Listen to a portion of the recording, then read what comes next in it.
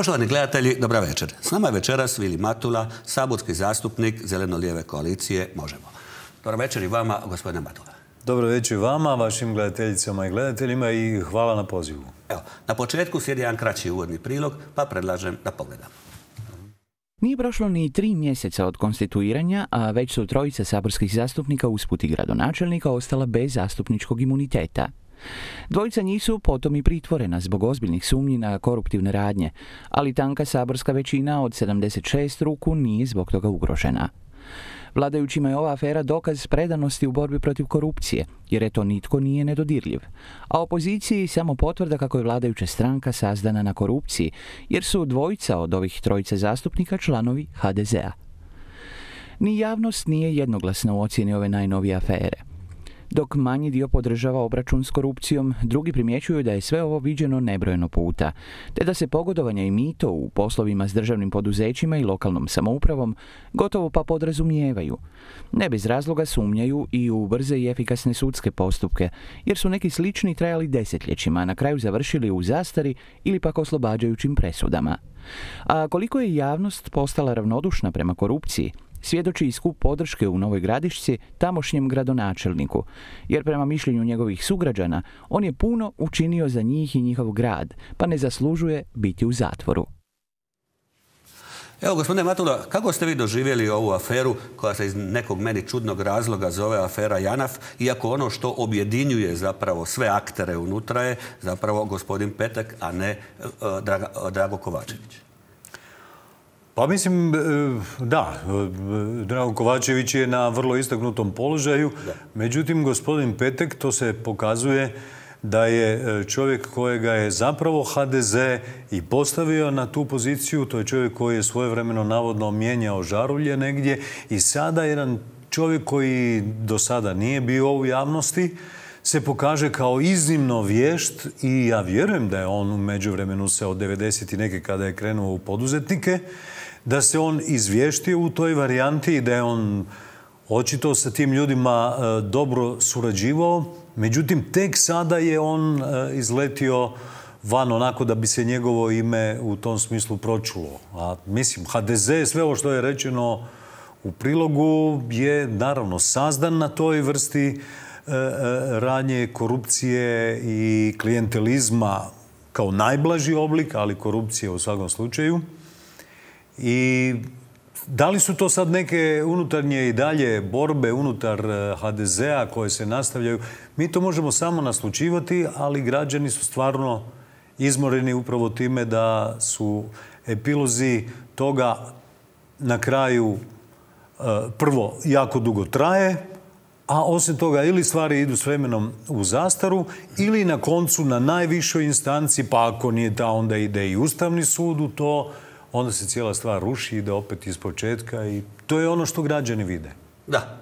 Jesu li uopće građani u Hrvatskoj osjetljivi na korupciju? Dakle, imamo jedan slučaj, dakle, imamo gradonačelnika Nove Gradiške, gospodina Grgića, dakle, za njega je organiziran prosvjed. Koliko se sjećam, svojedobno je bio organizirani prosvjed dok je Milan Bandić bio u zatvoru. Prema tome, dobrom dijelu građana uopće korupcija ne smeta. To se čini da je to dobar dio građana. E, kada se pogleda koji je zapravo broj ljudi, evo HDZ je zapravo kada se e, pogleda koji je to postotak od ljudi koji su izišli na ove izbore, vrlo mali, najmanji do sada, 43, ne znam koliko je posto izišlo. E, na kraju se svede da sa 60 tisuća glasova manje je HDZ dobio 14 mjesta više u Saboru i još uvijek je na samom rubu te e, saborske većine. Međutim, ključno je da je on do tog broja došao sa samo 16% glasova, zapravo od ukupnog. A, a to su parlamentarni izbori na koje ipak izlazi najveći broj građana. A zamislimo onda što je e, na lokalnoj razini, tako da je to jedan vrlo mali postotak izravno korupcijski i klijentelistički povezanih ljudi koji ti gradonačelnici sami organiziraju e, da, odmah kažemo, dakle, vi govorite to je samo 16%. Međutim, i tih 16% je vama nedostižno. Jer da ste vi dobili tih 16%, imali bi 76 u Saboru. E, da, ne bi imali 76, nego bi morali, da, morali bi stvoriti neku većinu. Možda bi mi onda, da, da smo mi imali toliko, možda bi mi skupili i više. Samo to hoću reći. Ali, e, da, to je, e, to je ono što je činjenica. Želim reći da nije da je sva ta količina građana, velika većina građana da su oni za takve gradonačelnike, da su oni za to. Ne, ljudi su velikim dijelom u apatiji. I a jedan veliki dio sposobnih naših ljudi kojima je toga stvarno preko glave je zadnjih godina i otišao van, što je isto tako poznato. E, zagrebački ste aktivist prije ulaska u ovu visoku politiku. Prema vašoj procjeni, sad vas pitam ozbiljno, koliko je ljudi na ovaj ili na onaj način u posljednjih 20 godina, odnosno sada, na neki način povezano i ovisno u Zagrebu o Milanu Bandiću. Govorim o svim zaposlenicima, o svim onim udrugama i, i ne znam e, kome sve ne, koji na neki način žive od grada i od gradskog proračuna. Je li to dovoljno za dobiti izbore u Zagrebu? Do sada se u 20 godina pokazivalo da je to više nego e, dovoljno.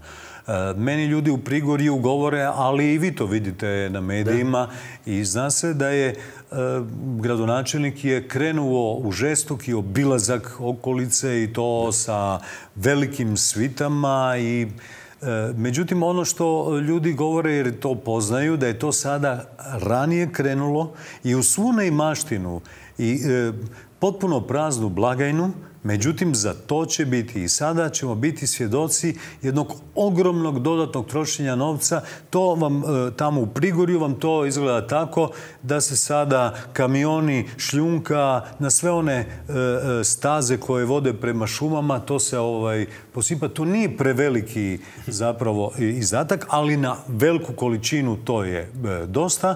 I tu se još naprave onako nekakvi frizerski radovi, onako samo da se stvar make-up da se e, zataška, ali to je sada već krenulo. I svi oni ljudi koji su kod njega baš klijentelistički povezani, oni naravno da razmišljaju e, oko toga koliko god se čini da je sada stvarno najslabiji. Međutim, taj njegov mehanizam e, ponovo funkcionira. I za pretpostaviti je da je u najmanju to ruku taj broj ljudi koji za njega i glase. Ja mislim da je to ta neka brojka. Da. E, evo da se vratimo još malo o ovoj aferi. Je li vama malo čudno zapravo da se sve znalo na Martinje prošle godine, a onda se krenulo dakle sa uhićenjima nakon deset mjeseci? O čem se tu radi uopće? Da, to je stvarno ovo je potpuno nepoznato. Evo, vidim da se sada tu pretpostavlja da se e, pokušavalo to sakriti radi predsjedničine kampanje.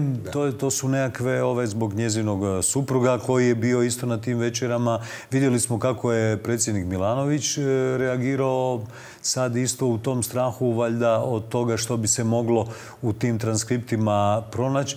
A opet, jedan od važnih e, problema je to neprekidno curenje informacija i da mi ne samo od policije, od DORHA, od USKOKA, nego čak i podaci iz e, obavještajne zajednice cure u određene novine koje se čine da su gotovo bilten i da, to je, to je nešto što je e, u svakom slučaju za zabrinuti Meni je normalno da se to e, ne govori niti predsjedniku, odnosno predsjednici. To mi je jasno da se takva jedna akcija ne smije širiti krug ljudi koji to poznaju. Ali to da u trenutku se odjednom to sve probije i da na kraju se izlije po novinama i da se onda mjesecima to reciklira po novinama i dok kreće sudski postupak, do tada već njihovi advokati i tekako nađu argumenata i to je glavni problem što zapravo su te istrage na taj način medijski zagađene. Da, ali e, u jednom, mislim ako se ne varam, u, jednom trenutku se u tom klubu našao ne tog dana, nego šest, sedam mjeseci kasnije, dakle, i sam predsjednik Milanović. Danas je on dosta žestoko progovorio, dakle, o cijeloj toj varijanti. Njemu je nepojmljivo da se to deset mjeseci čekalo s time, ali je otkrio neke stvari koje zaista mogu postojeće procese ozbiljno ugroziti. On tvrdi da je on kao premijer znao za sve što radi policija i što radi ministar unutarnjih poslova. Ne bi li policija, odnosno USKOK, trebali u svom radu biti neovisni? Apsolutno. Mislim, to, to su neke E, stvarno neobične stvari, neobični su porivi, to su neki impulsi koji inače ovaj, sklonje gospodin Milanović tome i očito je da je danas e, baš ono puno toga previše izgovorio, a pogotovo ta usporedba sa predsjednikom Trumpom, to tek je zbunjujuće. Ja mislim da svima nama ovako u kontaktu sa vama, a kamoli da sam u nekom baš ono velikom pritisku, vjerojatno e, glava brzo radi, međutim je njemu to kratko spojeno sa e, jezikom i, odmah izleti van. Ja pretpostavljam da se on ipak nakon svega kaje zbog takvih izjava, ali svako je skandalozno. A pogotovo ta činjenica to da on sada iskazuje moć, da govori o moći i da pretpostavlja da dan danas je takva moć, mislim da nikako ne bi smio niti premijer, niti ministar ne bi smjeli imati takve podatke. Naravno da ne bi smjeli. Da, evo, e, kad smo već spomenuli Bandića, njegova obrana od prvog dana tvrdi da je riječ zapravo o političkom progonu. Nakon današnjeg istupa, dakle, predsjednika Milanovića, mu više može reći da obrana nije u pravu? E, da, samo ono što mi kao građani, i, a i vi iz medija i svi koji poznajete i gledate e, lik i dijelo gospodina Bandića i sve okolo mehanizme i načine ljude koji su izravno povezani i od nevjerojatno skupih e, WC-a, zlatnih školjki, ne znam čega, što sve nismo doživjeli, onda mi znamo, neovisno tome što njegovi skupi i vrlo vješti odvjetnici E, rade koji da je ova država i pravosuđe funkcionira kako treba, pa to su, neki od njih su bili fantastični tužitelji, da su oni tužitelji, onda bi ti ljudi bili kvalitetno optuženi u dobrim procesima. Naravno, tu bi trebali biti i e, većina kvalitetnih sudaca, što ja i dalje želim vjerovati da je. Ovako je ispalo da ovaj, jedan e, par odvjetnika zapravo brani sve te naše najteže e, korumpirane političare i da je u tome vrlo uspješan. Da. A, ne čini vam se da je zapravo današnjim izjavama predsjednik Milanović im uvelike olakšao posao? Ne, to, to, tu nažalost e, ne mogu ništa drugo reći nego da je on stvarno njima olakšao, a nama svima otežao, da. Evo, kako uopće ocjenjujete, dakle, e, htjeli ne htjeli, dakle Milanović je bio e, kandidat ipak lijevog bloka, lijeve političke scene. Pretpostavljam da ste ga i vi podržali, bar u drugom krugu na izborima. Kako ocjenjujete njegov dosadašnji mandat? Pa mislim da je ljude i tekako iznenadio sa tim nekim odlukama prije svega da odlikuje čovjeka za kojim je raspisana tjeralica u Bosni i Hercegovini.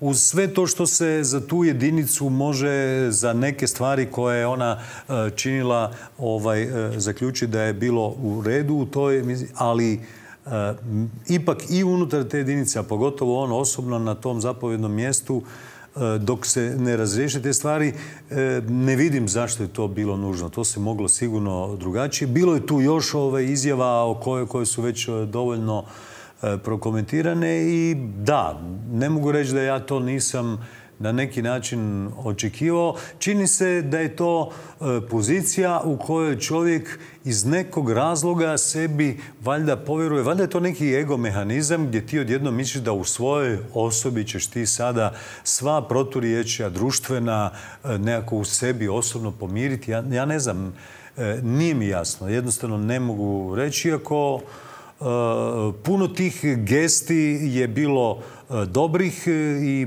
da, ja mislim da je e, cijela stvar koja je uopće zamišljena i za Knin i za to da se ide i u Grubore i u Varivode. Vidjet ćemo ovaj, dalje kako će to ovići. To je sve smjer koji pozdravljamo. Da, to bi trebao biti taj smjer.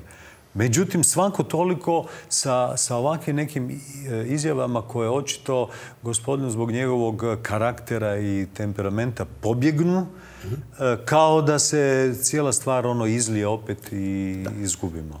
No, međutim, e, niko ne govori zapravo i odgovornosti kad je u pitanju u Bosna i Hercegovina i same bošnjačke strane. Dakle, je li njima trebalo čekati, čekati 25 godina nakon rata, da 24 godine nakon rata da podignu optužnicu? Drugo, mi u Hrvatskoj imamo dosta nezgodnih iskustava sa optužnicama iz Bosne i Hercegovine. Kod nas se kao, sjećate se, kao gotova stvar, dakle, u medijima e, e, desetljećima govorilo kako je jedan sudac Ustavnog suda silovao jednu bošnjakinju, je tako? Da bi se na kraju ispostavilo da ta bošnjakinja nije postojala, a nije bilo ni silovanja. E, da, što recimo za tog dotičnog suca i sve njegove izjave i stvari koje je činio inače, da, ovo je jedna priča, međutim to njega ni na koji način ne može ove, osloboditi e, e, drugih stvari po kojima je taj sudac nažalost ovaj, poznat. Ali dobro se držati ipak činjenice. U ovom slučaju, dobro, to, to je sa pitanje činjenice, to ne znam komu je to. Međutim, puno je tih činjenica i, izjava i mjesta i društava u kojima je taj e, čovjek e, se nalazio, gdje su stvarno ljudi koji su povezani sa naše strane i sa zločinima bili i koje je on relativizirao na, na razne načine.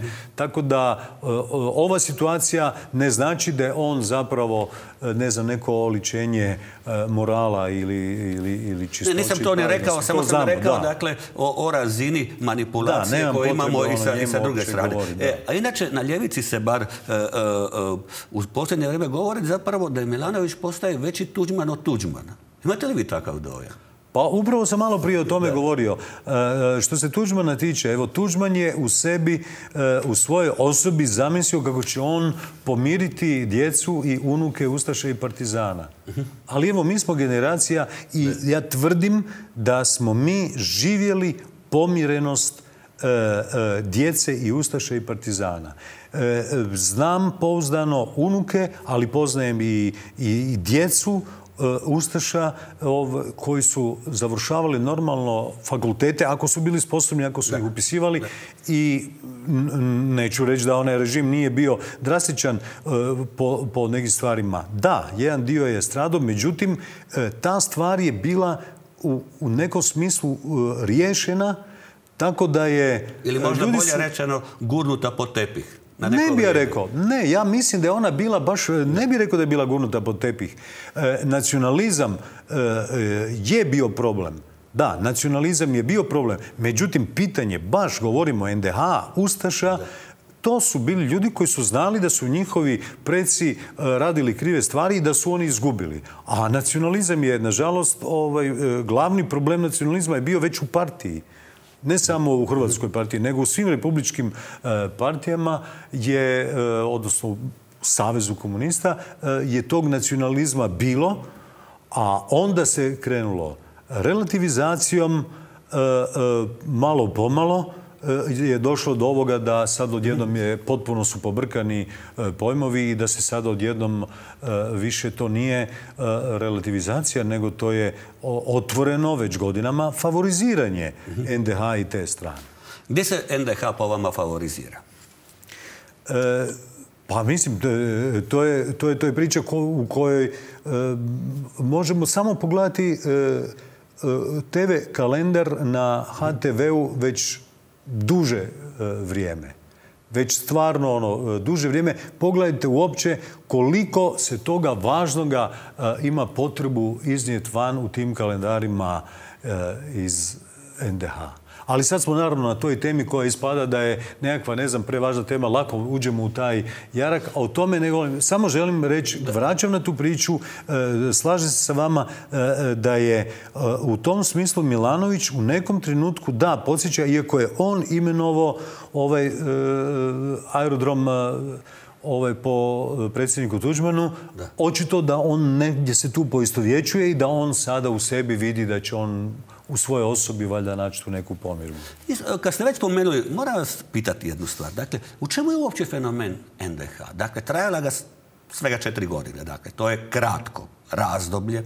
Dakle, za razliku od drugih, dakle, fašističkih, nacističkih tvorevina, recimo u jednoj Italiji, što god mi mislili, naravno da je taj režim bio okrutan, da je bio posebno okrutan prema svim koji nisu bili italijani na našoj obali to, ali tamo se je nekog vraga izgradilo nekakve, dakle ima cijela jedna fašistička arhitektura koja uopće nije loša, ceste, zaposlenost, pa je onda bila ta priča i oko, oko zapravo radničkih prava, pune zaposlenosti, e, do pola voro, dakle svega. U NDH nije bilo ničega. I zapravo doslovce nema ničega.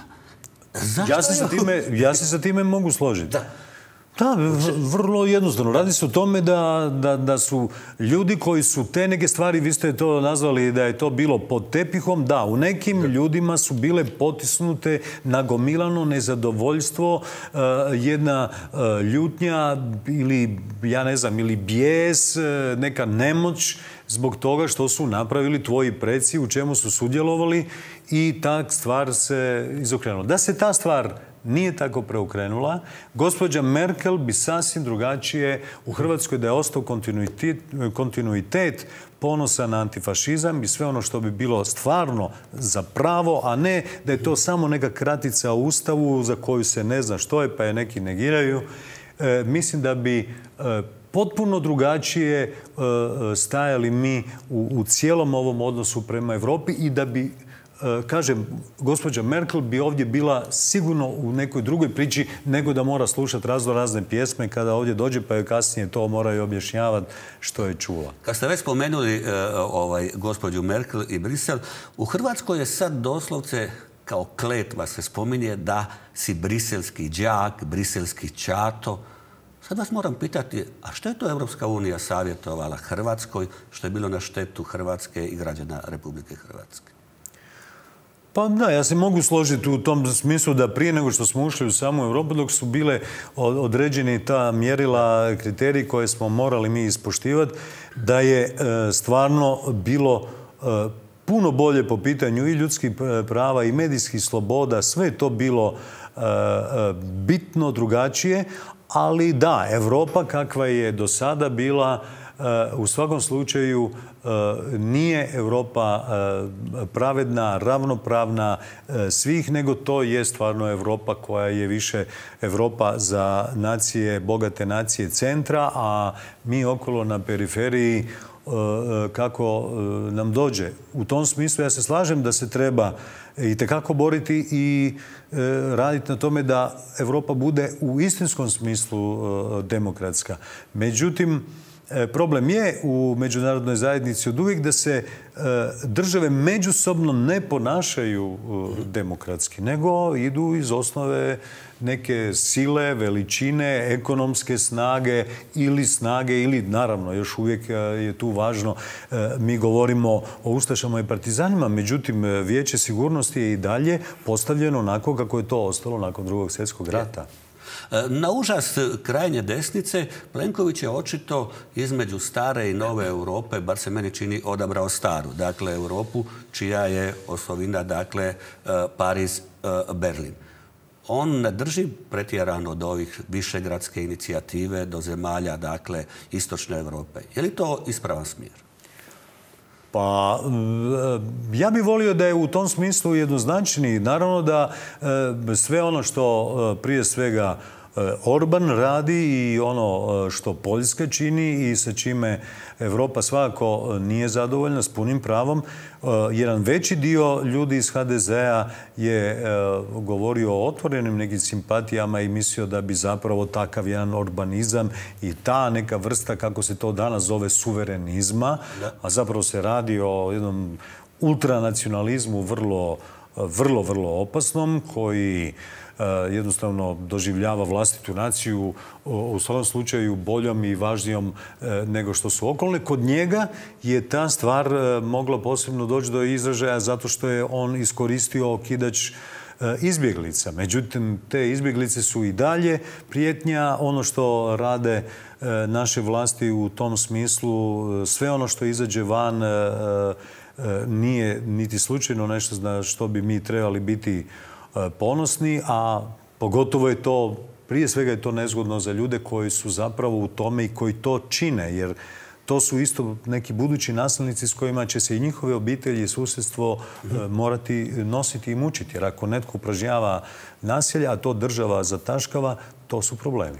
Da, što bi zapravo Hrvatska u ovom trenutku kad, kad su u pitanju migranti mogla napraviti? Dakle, istovremeno se od nje traži da ni jedan dakle, ne pređe granicu, a ako već pređe, a istovremeno se traži da kako, na koji način, da ih zamoli da ne prelaze granicu. Mi smo sada, dakle, kad su u pitanju migranti, moramo isto biti realni. Dakle, e, najmanje je tu Sirijac.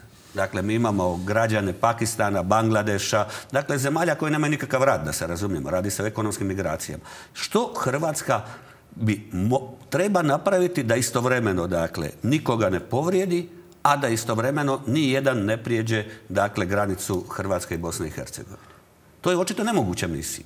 Pa mislim, e, veliki dio stvari kojima se politika i bavi je e, nemoguća misija. Da, to uglavnom e, jesu takve stvari. Da, to je puno, puno proturječja. Ali tu cijelu stvar mi možemo odmah postaviti samo na taj način pogledati. E, e, zemlja je sve praznija, Hrvatska je sve praznija, naši vrlo kvalitetni ljudi isto tako bježe, ali imaju sreću da mogu jer su im otvorene granice, jer smo ušli unutar e, Europske unije. Ali naši kvalitetni ljudi koji sposobni i obrazovani odlaze tamo i mi u jednom trenutku ostajemo stvarno bez ljudi, ono malo tih ljudi koji dođu ovdje, ali ne samo iz Sirije, iz raznih zemalja pa čak i iz Afrike, gospođa iz Afrike koja je napravila onu kuhinju. E, radi se o tome, e, e, dolje ovaj, u, Ilici, radi se o tome da da je glas koji dolazi o Hrvatskoj vani je takav tu ne ostati nego bjež preko ovdje ne možeš dobiti niti azil na pravi način. Sve te stvari su zapravo ovdje način kako se to izigrava. Mi onog trenutka kada mi stvarno postanemo zemlja poželjna da do nas dolaze ljudi, onda neće nam dolaziti samo e, ljudi i e, izbjeglice iz Bangladeša ili iz Pakistana, nego ono o čemu govore isto naši znanstvenici, zbog čega mi nemamo iz cijelog svijeta. Pa naše sveučilište ove, u, u Zagrebu je upravo takvo vođeno od gospodina rektora da mi uopće nemamo vrhunske stručnjake i profesore, ali i studente i sve moguće talente da ovdje dolaze i da kažu Hrvatska je mjesto, uzorno mjesto i za ljudska prava. Ovdje se stvarno e, e, ljude ne diskriminira ni po kojoj osnovi. I to, to sam uvjeren da kada će tako biti, onda neće biti problem. Niti će naši ljudi bježati van, niti ćemo mi imati problem sa ljudima koji će ovdje e, eventualno dolaziti. Dobro, ovo je područje odavle, odavle se uvijek selilo, međutim ipak moramo razlikovati ovaj tip e, emigracija i onaj tip emigracija. Dakle,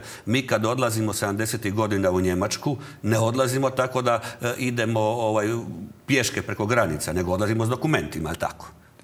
E, usput, e, sve te ekonomske migracije su zapravo, ja se i sjećam kako su rađene, otprilike neko njemačko poduzeće bi iskazalo interes za toliko i toliko radnika, to bi bilo upućeno tadašnjim birojima rada, jedan od načina i zapravo su ljudi tako odlazili, bilo je nekakvog reda. Ovo danas je totalni kaos. E, e, da, to je, to je jedna stvar. Međutim, naravno da ne ulazimo previše u tu priču. Otac mi je bio 35 godina u Njemačkoj. E, teta i tetak su mi bili tamo i znači poznajem to ono izravno iz obitelji. Ključna stvar je bila ta da je recimo moja teta je svaka dva tjedna gotovo se vraćala nazad. Ovdje su se gradile kuće, ovdje se sve pripremalo, imalo se namjeru vratiti. Odlazila je srednja generacija, djeca su ostajala kod kuće sa djedovima i bakama i to, ovo je sada nešto potpuno obrnuto. Ali nemojmo zaboraviti, ipak Njemci koji nisu bili u stanju platiti sve reparacije, nakon što smo dobili onu pomoć koju smo dobili od Zapada u trenutku kada smo se odvojili od Sovjetskog saveza, a to je veliki dio Bijanovca, e, to, taj naš odlazak tamo je bio izravno između ostalog dogovor, on, tako je i Willy Brandt je tome govorio, mi nemamo novaca vama platiti, ali mi ćemo zaposliti vaše ljude. I da, i to je isto bio jedan od načina, hoću reći, da se poštivala e, e, ona stvar koju je bivša Jugoslavija na strani antifašističke borbe izborila u tom drugom svjetskom ratu i to je između ostalog bilo plaćeno, pogotovo što je bila razorena. Ali dobre su bile za sam režim čvrste devizne e, ovaj, doznake, jer ipak se govorilo u to vrijeme da je od svih jugoslavenskih republika najuspješnija Savezna republika Njemačka. Je, ali sada pogledajmo opet koliko, koliko svojim roditeljima šalju naši ljudi koji su sada vani, te su doznake isto u zadnjih e, godina skočile enormno i to je opet Neke stvari se ne mijenjaju, bar kad je Njemačka to u se ne mijenja. Ali evo imamo i druge zemlje, dakle susjednu Sloveniju i Austriju. Izuzetno su restriktivne politike kad su u pitanju imigranti. Sad imamo priču, dakle, sa Sebastianom Kurcom koji je rekao da ne dolazi u obzir da primi čak ni jedno dijete sa Lesbosa. Hrvatska će primiti, koliko znamo, ja mislim, desetak, dvanaest tih nesretnih djevojčica. Tamo je na vlasti, jako zanimljivo, desna, desno-zelena koalicija. To nama ne prijeti, budite sigurni. Mi smo zeleno-lijeva koalicija koja ni sa kojom desnicom u Hrvatskoj sigurno neće dugo, dugo vremena, ja bih rekao, ne, mi nikada.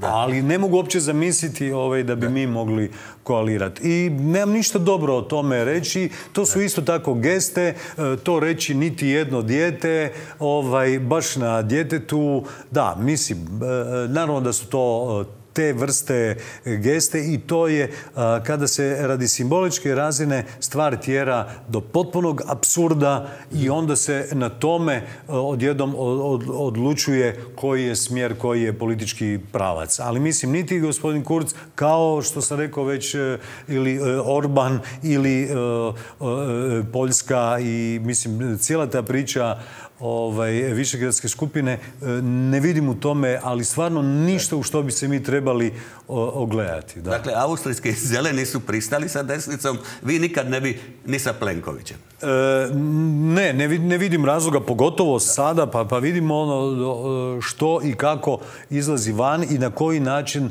e, se ta politika e, događa. Nikako, to je stvarno jednostavno nemoguća Milanovića uspoređuju s Tuđmana, Tuđmanom Plenkovića sa Sanaderom. Je li Plenković novi Sanader?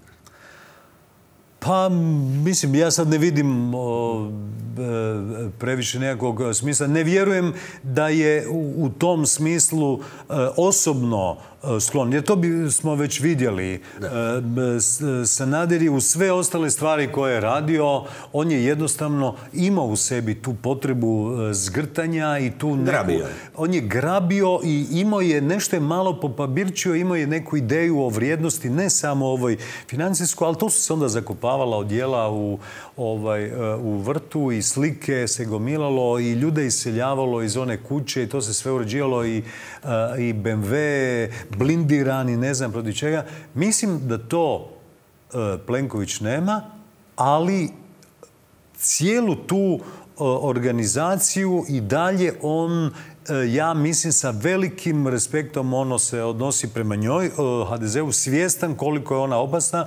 Ne znam ovaj, za njega osobno da li bi u takve razmjere. Međutim, ako ti sa njima e, tikve sadiš, to se ipak kad tad do glavu razbije. Ha, vidjet ćemo. No da se vratimo sad na, malo na lokalnu sredinu. Evo, pola godine je od potresa. Vi ste podržali zakon o obnovi, je tako? Jesmo. Zašto? Pa, e, da kako da bi bili e, puno sretniji da je e, zakon donešen stvarno u šestom mjesecu.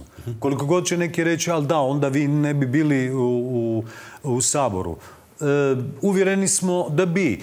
Kao što djeca danas idu u školu uprkos ovim velikim brojkama zaraženih, znači sada se moglo isto tako organizirati izbore. Sada, u ovo mhm. vrijeme. A to samo znači da se e, imalo se dovoljno vremena za dva čitanja e, zakona i da se moglo u toku ljeta, dok je odmah moglo se e, krenuti u radove i da su ljudi mogli završiti sve ono najvažnije pred ovu zimu i pred veće jače kiše jesenje, da se to sve moglo napraviti. 17 tisuća potpisa koliko je platforma Možemo skupila prije samih izbora, baš ono, jer su ljudi to tražili. Mi smo imali tu peticiju da se što prije donese zakon i stvarno ljudi su to potpisivali i tražili smo da se skrati, na kraju se stvarno skratilo ferije od Sabora onako kako nije do sada nikada bilo. Inače od 15.7. do 15.9. Da. E, mi e, smo, e, puno toga je prihvaćeno, Evo, to je ljudima poznato. Inzistirali smo i na imovinskom i na dohodovnom cenzusu. Što je dosta važno jer upravo na tome smo, baš mi kao Sanga, i to je Sandra Benčić, naša zastupnica i koja je pravnica po obrazovanju, baš je na tome inzistirala imala to iskustvo da ljudi e, dohodovno možda i mogu proći, međutim imaju neku ogromnu imovinu ili obrnuto e, i tako da ti nisi to mogu prije. E, sada se to ipak ovim zakonom rješilo. Da kako? Pokazat će se da je vrlo teško način na koji oni inzistiraju, nisu htjeli da fond koji smo mi smatrali da bi trebao biti zavod, ali neovisno imeno, mogu to biti fond ali da te funkcije, te sve uloge koje smo mi tražili da bude objedinjeno na jedno mjesto, da čovjek koji je u nesreći, koji je izgubio posao i cijelu muku radi covida, pa mu je onda još i potres e, srušio kuću, pa mu je ili, ili, ili ju oštetio, ili ga još poplava, da on može doći i na jednom mjestu da on može to sve obaviti. Ne. Sada će to biti različiti, e, ovaj, različita ministarstva, različiti uredi, što na državnom nivou, što na gradskom nivou i čovjeka će se ipak šetat. Jedino što će fond sam dobiva taj neki novac i imat će e, njih 15 e, veleučenih savjetnika. Ali to nije operativno tijelo koje bi građanu pomoglo. Da. Jel vi imate nekretninu koja je stradala u potresu? E, imam e, nekretninu, e, to je brat i ja smo od pokojne majke prije dvije godine naslijedili stan od 39 kvadrata u Draškovićevoj ulici. I to smo on i ja po pola. Ovaj, međutim, to, to je stradalo u tom smislu da onaj dio unutra, to, to ću ja, ovaj, jer za to se niti ne dobiva novac po tom zakonu. E, u toj kući jesu stradali e, e, dimnjaci i stradali su zabati i to su vrlo veliki troškovi i to smo mi kao građani, ljudi su se i tekako izmučili oko toga, da bi neki su se zadužili, neki posuđivali.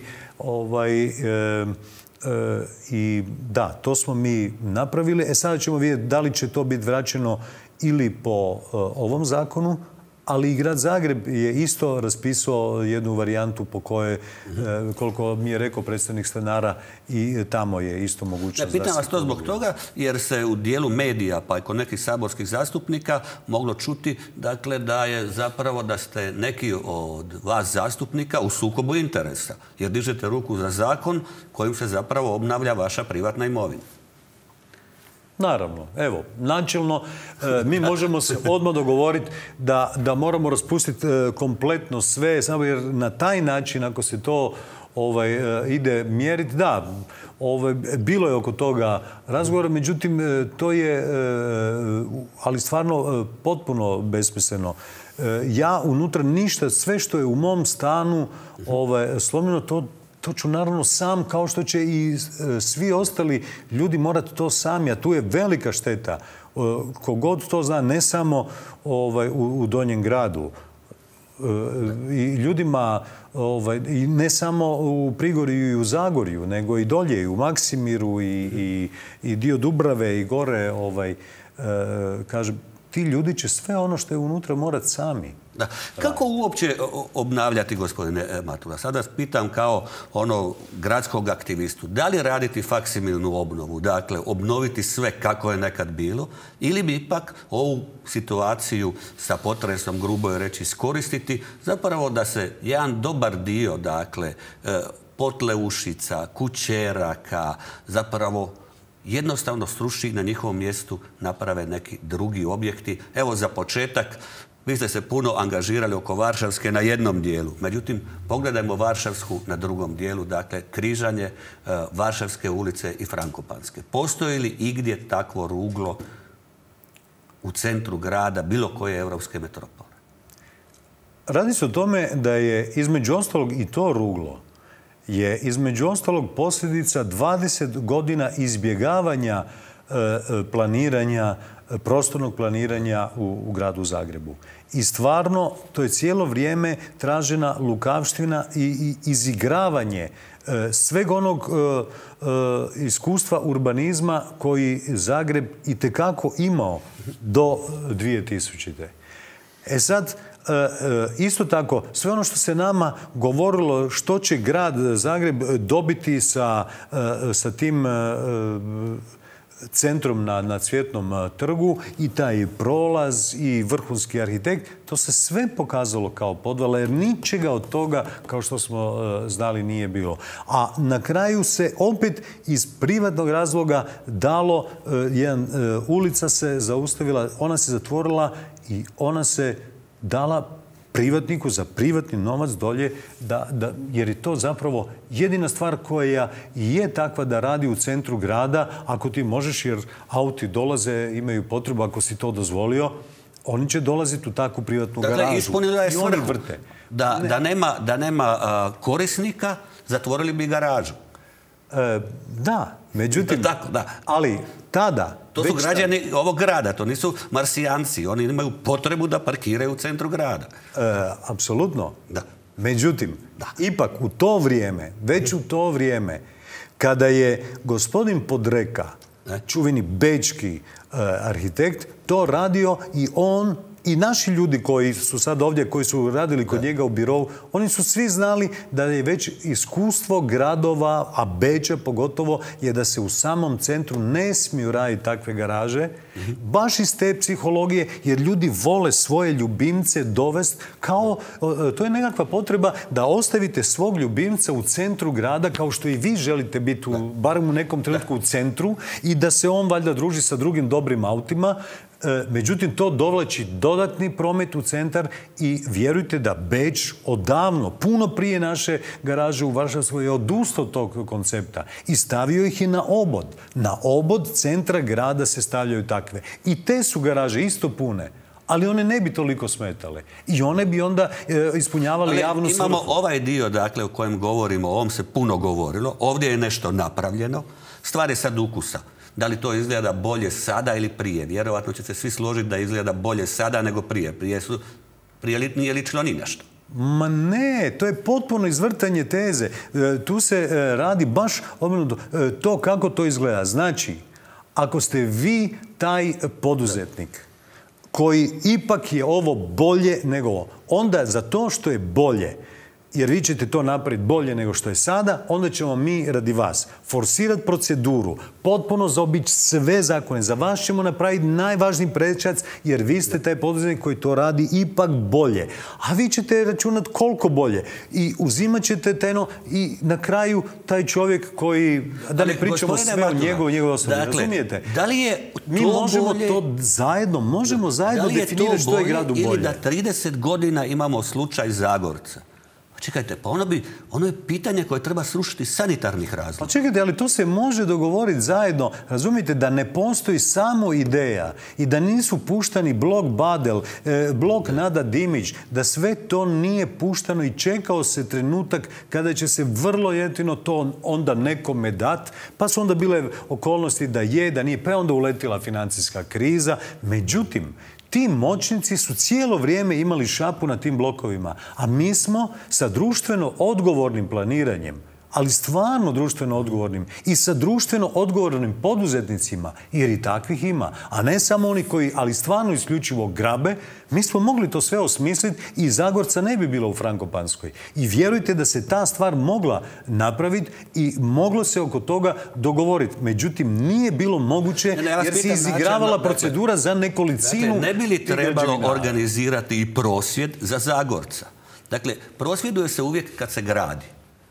Kad se ne gradi i kad propada, ne prosvjeduje niko. Niko ne prosvjeduje za paromnicku. Mm, ne, ne, ne, ne bih rekao da se prvo ne prosvjeduje se uvijek.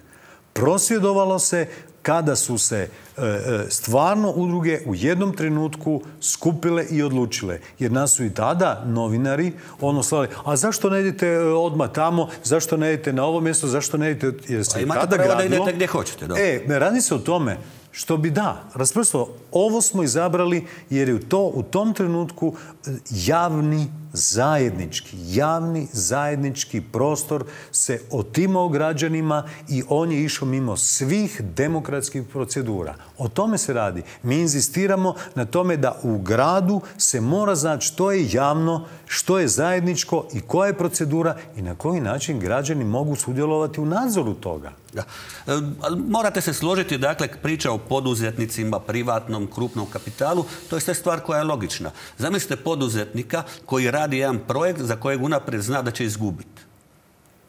To je luđak, je li tako? Ne.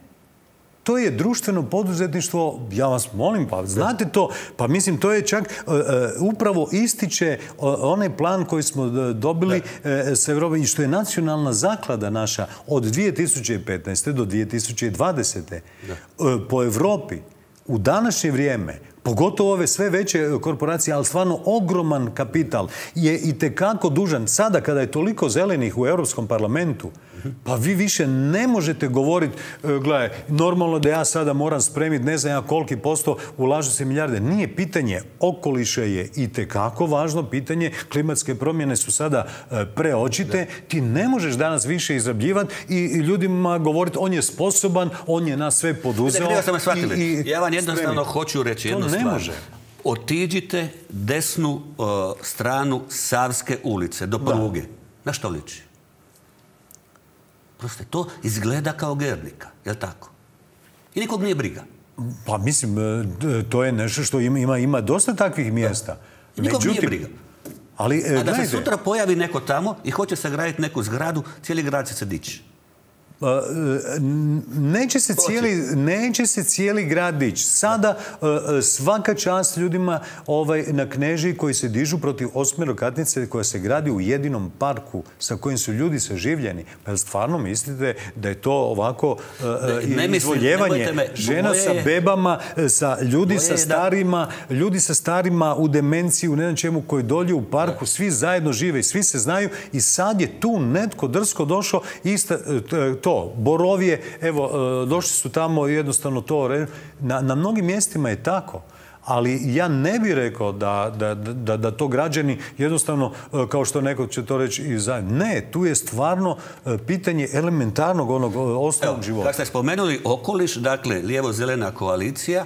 Dakle, po vama, koji su prioriteti, dakle, prioritetni problemi u ovom trenutku u Hrvatskoj kad je u pitanju okoliš? Prije svega, e, ono što mi zovemo u programu zeleno, otporno gospodarstvo, to je nešto što se u potpunosti oslanja, pogotovo na ovaj novi zeleni plan e, europski, koji će naravno e, aktivisti i europski reći da je mogao biti još korak dalje. Ali to je konkretno da E, budu e, kratki lanci opskrbe, da se ne e, troši previše i da, da se ne ispušta ogromna količina ugljičnog dioksida zato što čovjek koji je proizveo, ono što isto zovu od polja do stola, to su stvari koje nas zanimaju. Čovjek koji je proizveo određeno povrće, i sada to mora nakupcu, prekupcu, ovom kupcu, svima njima platiti u lancu, on dobiva vrlo malo, a na kraju, kada to dođe do našeg stola, to košta enormno puno.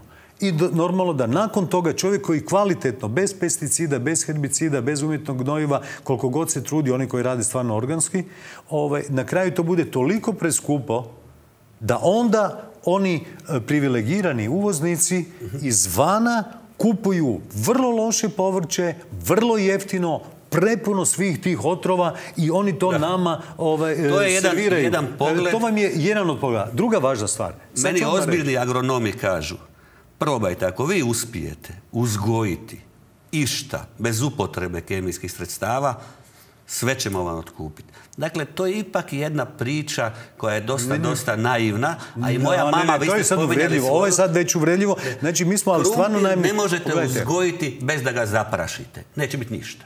Ali Tuberajt je upravo u Europi zabranjen, ali postoje drugi načini. Postoje drugi načini. drugi načini. Ali gledajte koji je način. Evo, gospodin Čorić, koji, e, to smo primijetili, recimo, to je jedan od dobrih primjera. E, čovjek koji je postao izuzetno, on koji je bio prije nabusiti i držao onako, koji nije nimalo djelovo naivno i čovjek bi pomislio da je ekonomija stvarno egzaktnija od fizike i matematike zajedno.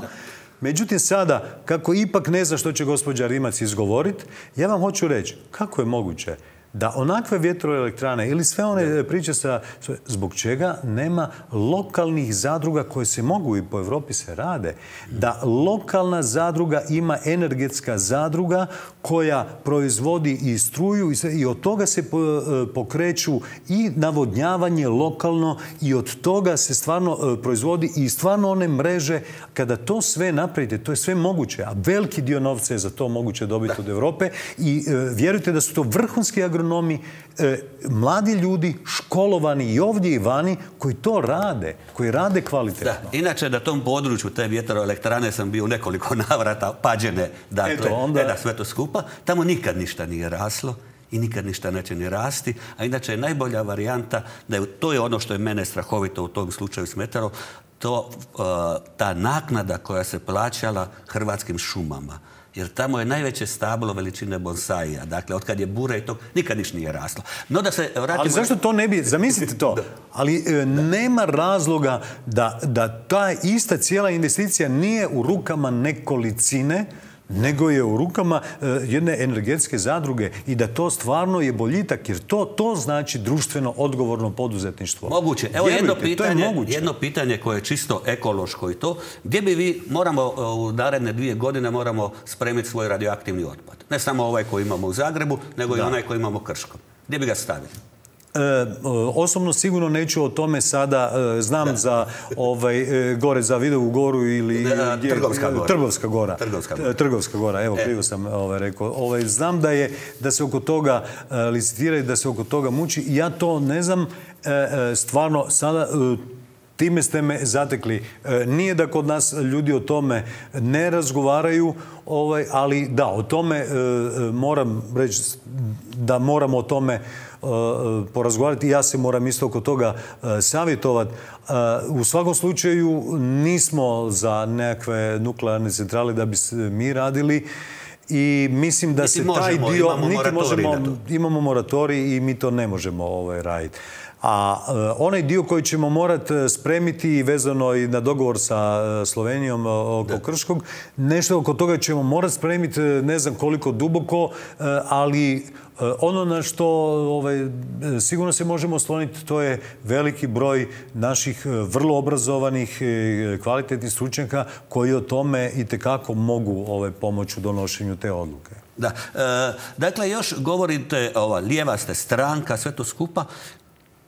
Koje je vaše zapravo biračko tijelo? Jesu to radnici?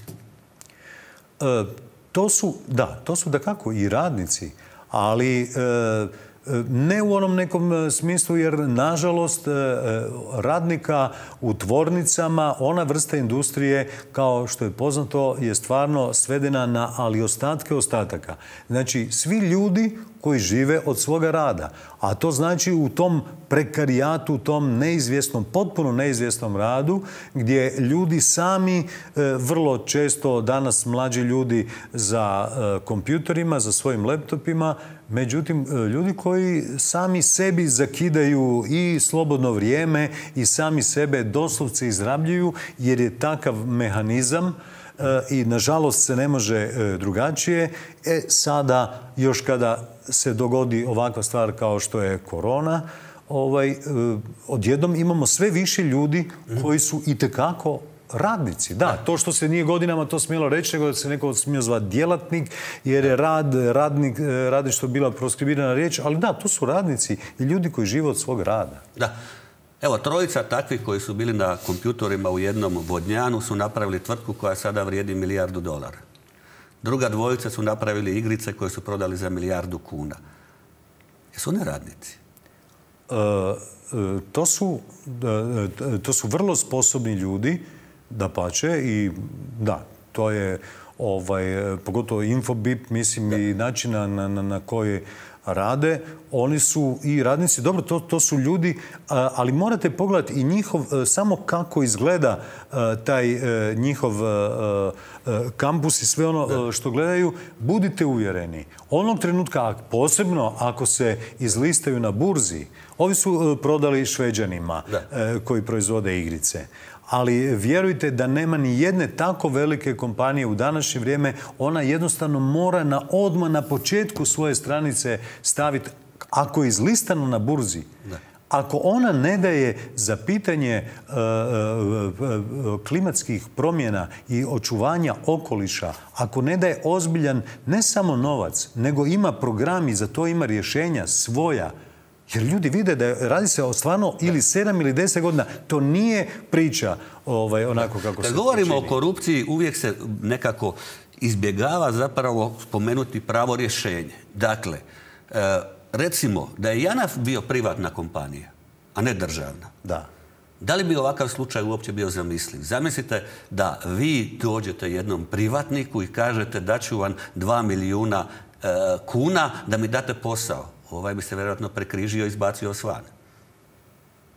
Čudim se. Čudim se, gospodine Matiću. Pa gledajte, e, e, upravo ste mi nabrajali Infobip i ovo. Da, ima nekoliko takvih, ima, ima ih još više, vrlo kvalitetnih uh, firmi, ne samo u IT sektoru, ljudi vrlo ovaj, odgovornih poduzetnika koji stvarno ne spavaju u trenutku kad ne znaju kako će svojim radnicima dati novac. Ali to je vrlo, vrlo mali broj. A u poslovima sa državom E, na svim e, razinama, jer e, u državu i lokalnu zajednicu, imate toliki broj nazovi poduzetnika, nimalo društveno odgovornih poduzetnika, e, oni su leglo korupcije i svih mogućih ne, opačina. Evo, taj leglo korupcije su oni koji imaju na raspolaganju javni novac. Dakle, državni novac i državne projekte. A ne ovi koji daju. Ok, ali ima jedna, e, jedno pravilo koje kod nas se pokazalo i koje se već 30 godina intenzivno govori da ništa javnim novcem financirano, da ne postoji ekonomija, ne postoji gospodarstvo, ne može valjati firma koja je javnim novcem financirana, osim ako nije Njemačka. Da, evo, isteklo nam je vrijeme. Njemačka firma može. Mora vas pitati. Tekom, da. Deutsche Bahn, sa svima njima funkcioniramo, a oni su Njemačka. Da, Njemačka ima, inače kad je u pitanju korupcija, kod njih se radi o nečem drugom, i to znate. Nema korupcije puno u Njemačkoj, ali Njemačka je najveći izvoznik korupcije valjda na svijetu. To, je, to je druga priča. To je drugi problem. Evo, jedan vaš kolega, glumac koji je bio dakle, u, u, u Hrvatskom saboru, sabor je nazvao kokošincem. Kakav je vaš dojam? Pa ne bi, ne bih to ove, e, tako nazvao. U svakom slučaju, jedna u ovom trenutku onako očerupana ptičica zato što e, je tako malo ljudi unutra i ne možemo radi korone ne možemo razgovarati, ne možemo jedni druge gledati, nema onaj, onaj, onaj pravi e, e, pravu onu atmosferu parlamenta koju bi trebalo imati prije svega zato što je toliko mali broj ljudi da, u saboru. Kokošinjač pretpostavlja ipak neku interakciju i živost. u svakom slučaju, hvala vam lijepo što ste bili gost za jedan televiziju. Hvala vama na prilici. A mi, poštovani gledatelji, vidimo se ponovo u četvrtak u 20 sati i 5 minuta.